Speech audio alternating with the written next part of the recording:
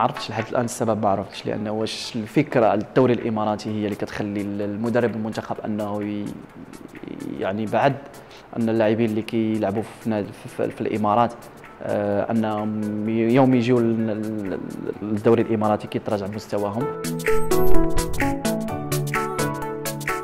ما نقدرش نكون مظلوم لأن عندي أهداف مع الفريق فأنا كنحسن من المستوى ديالي ونهار غيتم المنادات عليا فغنكون أنا فرحان لأن هذا حقي أصلا وأنا كلاعب مغربي وحق كاع جميع اللاعبين المغاربة فأي لاعب كيحلم أنه يحمل القميص الوطني.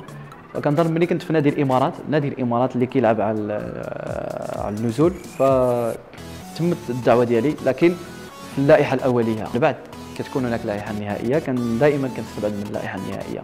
فكانت تقريبا ثلاث ثلاث مرات تقريبا من ملي كنت في نادي الإمارات لكن في الوحدة ولا مرة لحد الآن. كانت إشاعات كيقولوا بأن مراد بغاتنا نرفض المنتخب لكن مراد بغاتنا ما عمره غيرفض المنتخب. تم تمت الدعوة ديالي ولكن في اللائحة الأولية كتكون 33 لاعب لكن اللائحة النهائية استبعدت منها وكان يمكن الفريق ديالي فريق نادي الإمارات قبل ما نستبعد كان كان بطولة إفريقيا كنظن الأخيرة.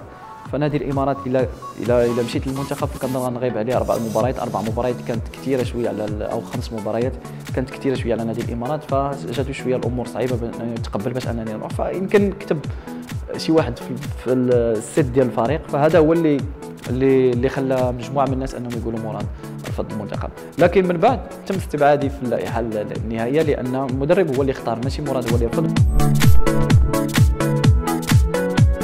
مجموعة قوية يعني إذا شديناهم كأسماء يعني إسبانيا البرتغال إيران فغتكون مجموعة قوية. ولكن إحنا تايقين تايقين عندنا لاعبين الحمد لله اللي في المستوى وكيلعبوا حتى هما في أعلى دوريات في أوروبا. فكنتمنى إن شاء الله يكونوا في حسن ظن الجمهور المغربي اللي غي كنظن أي مغربي غيتابع هذا كأس العالم. فكنتمناو كنظن المباراة الأولى هي اللي إلا فزنا على إيران فغتولي عندنا واحد الحظوظ على الأقل. لما لا نتعادلوا إن شاء الله غير مع البرتغال وإسبانيا ونتاهلوا إن شاء الله. ولكن نتمنى إن شاء الله المباراة الأولى فعندها دور كبير باش أننا على الأقل تبقى عندنا واحد الحظوظ. آه، من نلعبوا مع البرتغال ولا إسبانيا نكون على الأقل عندنا ثلاث نقاط.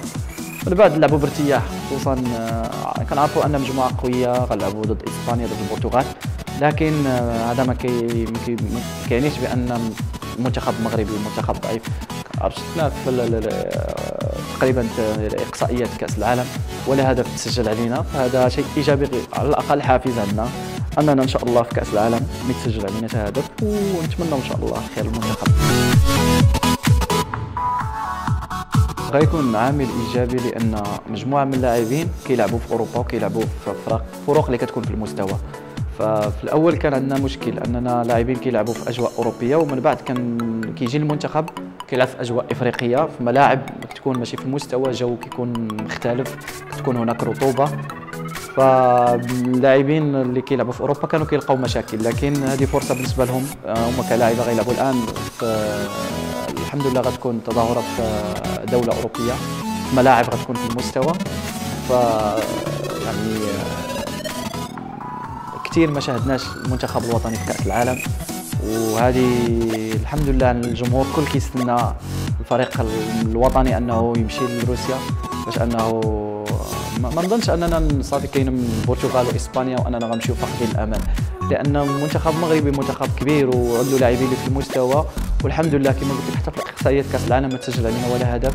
وهذا شيء إيجابي اللي غيخلينا أننا نمشيو لروسيا باش أننا إن شاء الله نتأهلوا. ما كنظنش أنني فريق الوحدة اعتمد علي هذا الموسم هذا باش أنني نجي ونساعد الفريق وأنني نفوز بالدوري. ومن بعد نخدلو نقول تقريبا نجيهم في شهر 12 نقول لهم أنني أبغى نبغي نرحل لفريق اوروبي باش أنني نلعب في المنتخب. فحتى غيكون صعيبة. فبالنسبة لي جيت باش أنني وعطيت وعد أنني باش أنني إن شاء الله نزيد نحسن المستوى ديالي ونحسن مستوى الفريق ونعطي إضافة للفريق الوحدة. المباراة الاولتي المنتخب بين أنه منتخب آه، في المستوى عندنا لاعبين أصلا. هنا عندنا لاعبين كيكونوا دائما يعني تقنيا كيكونوا فنيا كيكونوا في المستوى. المدرب جمال السلامي اللي قام بدور كبير أنه قاد لنا على الأقل فريق اللي من بداية الشهر بين وعطى ميساج للناس بأن هذا المنتخب غيقول الكلمة ديالو. هو وأنا كنت مرشحهم بشكل كبير يعني بواحد النسبة كبيرة لأن كيفوزوا بنتيجه كبيرة وكيقدموا أداء اللي في المستوى طيلة المباراة. فصراحة كنهنيهم من هذا المنبر هذا والأغلبية كي زملاء ديالي فكنهنيهم وكانوا كيستاهلوا. وحتى التنظيم كان في المستوى آه، فالمغرب غادي بشكل جيد. لو كنت في المغرب نتوج بلقب لأنه كأس إفريقيا على الأقل آه، كنعرفوا اللاعبين فين واصلين ديالنا. لكن لاعبيننا الحمد لله دائما في المستوى الحال آه، فرصة كانت للاعبين المغاربة باش أنهم على الأقل يبينوا المستويات ديالهم. فكاينين اللاعبين اللي غيستافدوا من هذه البطولة هذه فكاين مجموعة من اللاعبين كنظن بن شرقي الهلال اليميق الجنوة فهذه أشياء إيجابية. ومجموعة من الأندية كتتابع الآن اللاعبين. كانت فرصة بالنسبة للاعبين آه، أنهم يبينوا المستويات ديالهم خصوصا غيكونوا مجموعة من الفرق كيتابعون هذا الشان. فالحمد لله أنه كان لقب مغربي. البطولة الوطنية بطولة صعيبة لأن عندها آه، طابع خاص. إلا ما لعبتيش في البطولة الوطنية ما تقدرش تفهم مجموعة من الأمور. ما نظنش أن لاعب أجنبي سهل أنه يجي ويتوفق ويتأقلم دغيا ويتوفق في الدوري المغربي لأنه عنده أجواء خاصة. فبطولة ديال المغرب هي بطولة كبيرة وبطولة اللي في المستوى. كنظن كتخرج لنا دائما لاعبين على الأقل خصوصا في هذه المواسم الأخيرة. كنظن أن المغرب عامة حقق نتائج إيجابية. كنشوفوا المنتخب الوطني آه، تأهل لكاس العالم. كان الوداد البيضاوي فاز بالعصبة. اليوم فريق المنتخب المحلي فاز بكاس إفريقيا. هذه أشياء إيجابية بالنسبة لنا كمغاربة. بالنسبة لي ماشي قادر ولكن يستاهل لأن اذا شفنا البنية التحتية المركبات لا في اكادير لا في طنجة لا في مراكش لا في الدار البيضاء الرباط كلها مركبات كبيرة ومركبات اللي في المستوى. فاذا شفنا غير التظاهره الأخيرة آه، كأس إفريقيا. ف كنظن مجموعة من البلدان اللي تفاجئوا وشافوا أن المغرب أنه مشى بعيد خصوصا في البنية التحتية.